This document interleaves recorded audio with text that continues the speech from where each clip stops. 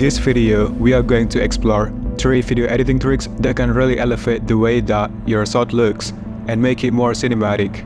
So these techniques are some of my favorites to do because they can really save up a lot of time and a lot of production value that you need on set for other things.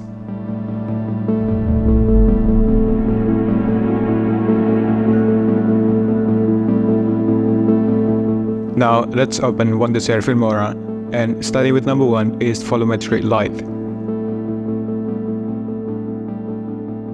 So this effect working great if your video has a little camera movement. Duplicate your clip by long press Alt option on your keyboard and drag this above your clip. Go to color, bring the saturation all the way down so it turns black and white. Let's go ahead to curve and we are gonna make the light source really white and the other side really dark. So drag the black point on the bottom to the right so that the shadow here turn really really dark. And bring the white point to the left so the highlights really bright. Yeah, pretty much like that. Then right click and create compound clip. Now we are going to effects select blur, choose dispersion blur, and apply it to compound clip. Click on the icon. Now bring the blur intensity and radius all the way up, and bring clarity radius and type all the way down. We just created light rise effect, but it's not done yet, so let's go ahead by change the blending mode to screen. And go back to effect and you can set the center X and Y to direct where the lights come.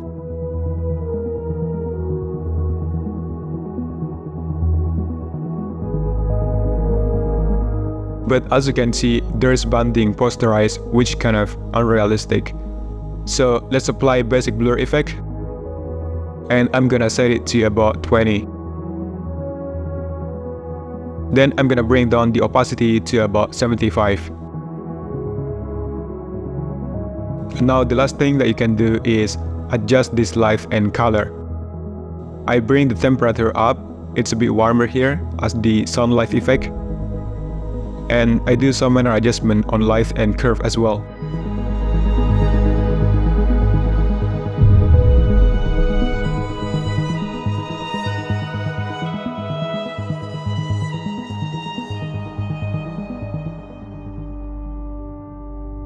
Now, the second trick is atmospheric effect.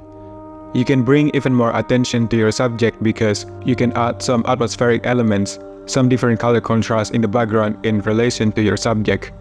To do that, just bring gray background above your clip. Scale up just a little bit. And go to mask, then select circle. Drag this out and place this on horizon Bring up the blur strength to smooth the edges.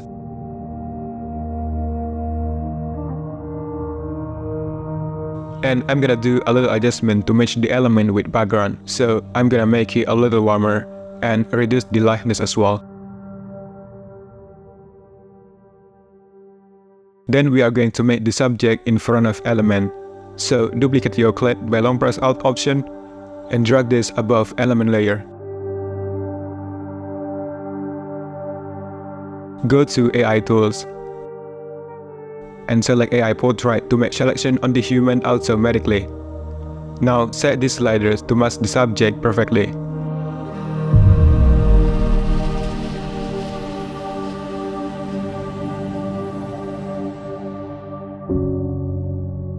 The last trick is set extension.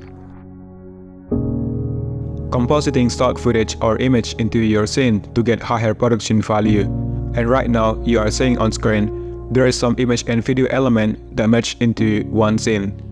Now this can be applied in different ways, so of course we use draw mask tool and select the part you want to insert to background. Just make sure both clip has the same environment to match better. But bring up the blur strength and set the color adjustment to match even better.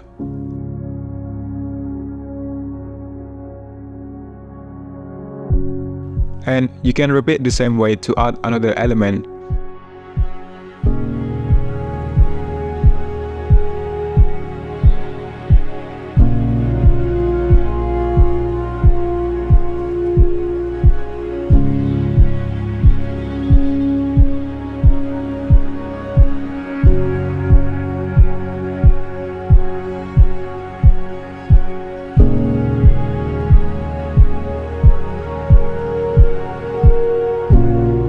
It's pretty fun to do, but sometimes need extra time to find stock media.